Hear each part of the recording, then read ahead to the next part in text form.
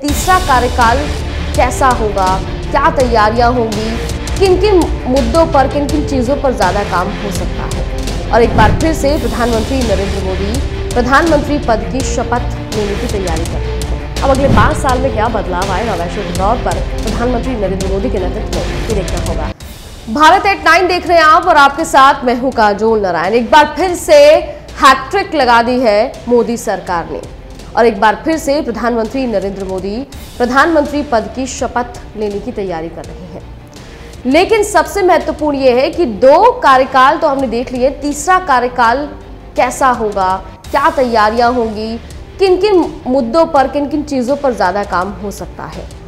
देखिए, नरेंद्र मोदी और भारतीय जनता पार्टी ने लोकसभा चुनाव में भारी जीत की उम्मीद की थी, हालाँकि नतीजे कुछ और ही रहे। मोदी ब्रांड को कहीं ना कहीं झटका लगा है। या फिर ये कहें कि ब्रांड मोदी को झटका लगा है। देखिए, पिछले लोकसभा चुनाव के मुकाबले कम हुई सीटों के बावजूद मोदी को मिली तीसरी जीत का असर भारत के लिए वैश्विक मंच पर बहुत महत्वपूर्ण रख सकता है। ब्रिटेन स्थित थिंक टैंक चेटम हाउस में दक्षिण एशिया के जो रिसर्चर्स हैं, वो कहते हैं कि विदेश नीति के मोर्चे पर चाहे वो मज़बूत जनादेश से आए या कमज़ोर से भारत को निवेश के लिए आकर्षक गंतव्य बनाने की प्राथमिकता का अपना लक्ष्य है, वो हासिल कर कर ही रहेंगे। बीजेपी के घोषणा पत्र का जरा ज़िक्र कर लेते हैं। बीजेपी का घोषणा पत्र भारत को ग्लोबल मैन्युफैक्चरिंग हब बनाने की बात करता है। और यहाँ पर रिसर्चर्स मानते हैं कि अगले पाँच साल के कार्यकाल में इस लक्ष्य को हासिल करने के लिए बड़ा प्रयास किया जाएगा। हालाँकि बीजेपी की लगातार ये तीसरी चुनावी जीत पश्चिमी देशों के लिए आशा और साथ ही साथ सावधानी लेकर ज़रूर आई है। ये वैश्विक स्तर पर मैं बात कर रही हूँ। कुछ जानकार ये कहते हैं कि मोदी की विदेश नीति और ज़्यादा मज़बूत होगी। ये हिंदुत्व की उनकी मूल विचारधारा के इर्द गिर्द भी घूम सकती है। आपको बता दें कि यहाँ पर कुछ ऐसे जानकार हैं जो ये कहते हैं कि हम इससे अभी भी सहमत नहीं हैं। कुछ सहमत है लेकिन कुछ सहमत नहीं है। उनका कहना है कि उन्हें उम्मीद है कि एनडीए के तीसरे कार्यकाल में विदेश नीति में कोई खास बदलाव नहीं आएगा, क्योंकि हम जो भू राजनीतिक बदलाव देख रहे हैं, वो संरचनात्मक है। यही बदलाव भारत को अपनी ताकत बढ़ाने में मदद कर रहे हैं।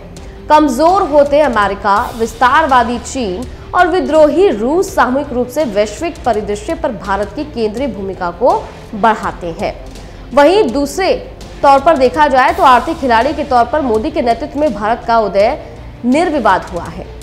विश्लेषकों का कहना है कि चीन के खिलाफ सुरक्षा कवच के तौर पर अमेरिका के साथ भारत की साझेदारी अगले पाँच साल में और ज़्यादा मज़बूत होने की उम्मीद है। हालाँकि इसके मज़बूत होने के साथ ही लोकतांत्रिक गिरावट के बारे में चिंताएँ भी हैं। विश्लेषकों का कहना है कि मोदी जानते हैं कि वैश्विक मंच देश की लोकतांत्रिक साख के बारे में बात किए बिना वो अपनी वैश्विक महत्वाकांक्षाओं को हासिल नहीं कर सकते।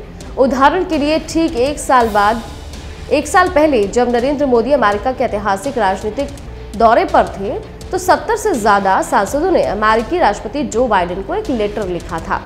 अब इस लेटर में आग्रह किया गया था कि बाइडेन मोदी से भारत में लोकतंत्र की गिरावट और प्रेस की आज़ादी के सिकुड़ने पर चिंता व्यक्त करें। हालाँकि साफ़ नहीं है कि क्या बाइडेन ने मोदी के साथ निजी तौर पर हुई चर्चा में इन चिंताओं के बारे में बात की है या नहीं। हालाँकि सार्वजनिक तौर पर मोदी का स्वागत एक नायक जैसा हुआ। इससे भी अहम बात यह है कि मोदी ने गर्व के साथ भारत की लोकतांत्रिक साख के बारे में बात करते हुए भारत को लोकतंत्र की जननी भी कहा था।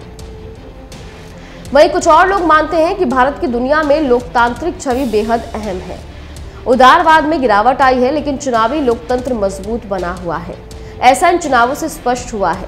इस तरह की चुनावी प्रतिस्पर्धा से भारतीय नेतृत्व को काफ़ी संभावनाएँ हासिल हुई है। भले ही संस्थाएँ कमज़ोर हुई हैं, मौलिक स्वतंत्रता में कमी आई है और सरकार की दमनकारी शक्तियाँ बढ़ी हैं।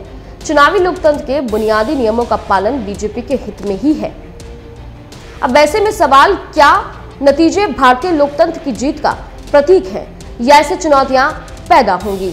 इस चुनाव में पक्षपात के जो आरोप लगे हैं, ऐसा नहीं है कि पश्चिमी देशों में इस पर ध्यान नहीं दिया गया हो।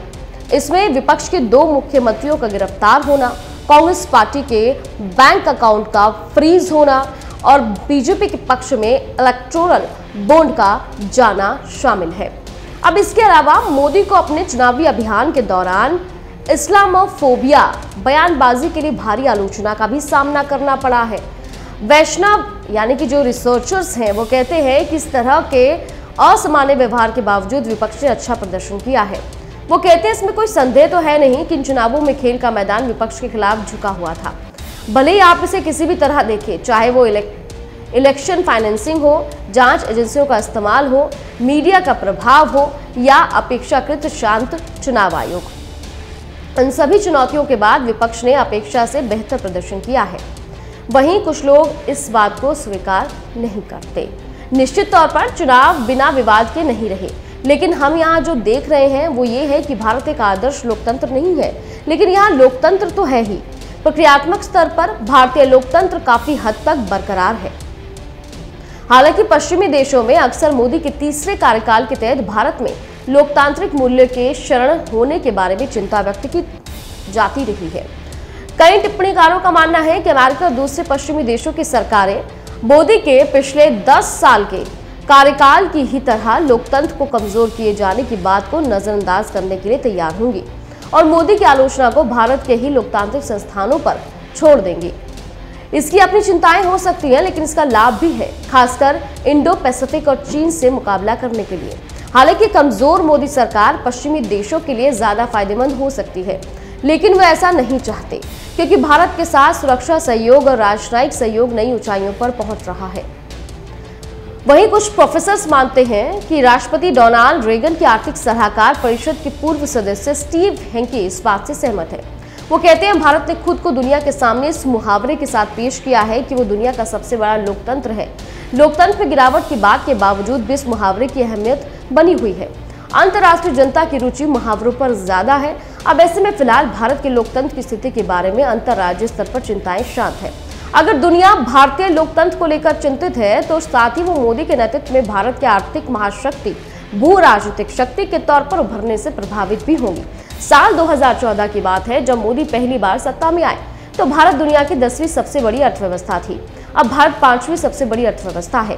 कुछ सालों में भारत जर्मनी, जापान को पछाड़कर अमेरिका और चीन के साथ सबसे बड़ी अर्थव्यवस्था बन सकती है। भारत की बढ़ती वृद्धि की संभावना और लगातार बढ़ते बाज़ार से वैश्विक निवेशकों की दिलचस्पी यहाँ बनी रहेगी। देखिए, भारत की आर्थिक कामयाबी के बावजूद ये अभी भी चीन के आकार का केवल 20 फ़ीसदी है। हालाँकि विश्लेषकों का कहना है कि भारत ने तेज़ी बनाए रखी हुई है। एक अरब चालीस करोड़ लोगों की आबादी, जो भारत को एक विशाल घरेलू बाज़ार बनाती है। सात प्रतिशत से ज़्यादा की विकास दर और काम करने में सक्षम युवाओं की वजह से भारत निकट भविष्य में एक महान शक्ति बनने के लिए एक आदर्श देश है। वहीं कुछ अमेरिका के एक्सपर्ट्स कहते हैं कि भारत एक महाशक्ति बनने की इच्छा रखता है, लेकिन अभी वो महाशक्ति है नहीं। चीन के पास एक बड़ी आबादी और पर्याप्त धन दौलत है। भारत के पास आबादी तो है, लेकिन पर्याप्त संपत्ति नहीं। क्या भारत अब संयुक्त राष्ट्र की सुरक्षा परिषद में एक स्थायी सीट के लिए ज़ोर लगाएगा? देखिए, यहाँ पर कुछ लोगों का कहना है कि संभावना तो है, लेकिन लगता नहीं है। साफ़ तौर पर नहीं, चीन मुख्य बाधा हो सकती है, जो अभी भी भारत का विरोध करता रहा है। आपको इसके लिए पी फाइव सदस्यों की सहमति की ज़रूरत होगी। आपके बोर्ड में चार सदस्य है लेकिन चीन इसका विरोध करता है। विदेश नीति पर भारत का रुख उसकी रणनीतिक स्वायत्ता पर आधारित है। भारत के अमेरिका और यूरोपीय संघ के साथ मज़बूत साझेदारी और रूस के साथ भी ऐतिहासिक संबंध है। भारत को यूक्रेन के खिलाफ रूसी हमले का समर्थन करने के लिए उकसाया गया, लेकिन भारत ने अपनी तटस्थता बरकरार रखी है। जहाँ तक कि विदेशी मामलों की बात है तो पीएम मोदी के पास सुब्रमण्यम जयशंकर जैसे बढ़िया विदेश मंत्री हैं। मोदी जयशंकर की जोड़ी रणनीति को कुशलतापूर्वक संभालती है। ये जोड़ी अतीत में भारतीय विदेश नीति से प्रभावित नहीं होती और सफल भी रहते हैं। वहीं दूसरी तरफ़ दूसरे, यानी कि बहस छिड़ी हुई है। इस बहस में जो दूसरे सलाहकार हैं या ये कहूँ कि विशेषज्ञ हैं, विश्लेषक हैं, रूस और यूक्रेन पर भारत की रणनीतिक स्वायत्ता और यूक्रेन पर आक्रमण के लिए राष्ट्रपति पुतिन की खुले तौर पर निंदा करने से इनकार करना पश्चिमी देशों के लिहाज से अच्छा नहीं रहा है, उनका कहना है। इस बात के कोई संकेत नहीं है कि मोदी इस कार्यकाल में भी अपने पुराने भारतीय दोस्त पुतिन का साथ छोड़ेंगे, लेकिन भारत की नीति, विश्वामित्र और विश्व गुरु के अपने प्राचीन दर्शन पर आधारित है। ये गैर पश्चिम है, लेकिन पश्चिम विरोधी नहीं है। जैसे जैसे भारत का बाकी दुनिया पर असर बढ़ रहा है, पीएम मोदी के नेतृत्व की परीक्षा होगी ताकि देश की उन्नति, रणनीति और टिकाऊ हो सके। अब अगले पाँच साल में क्या बदलाव आएगा वैश्विक तौर पर? प्रधानमंत्री नरेंद्र मोदी के नेतृत्व में ये देखना होगा।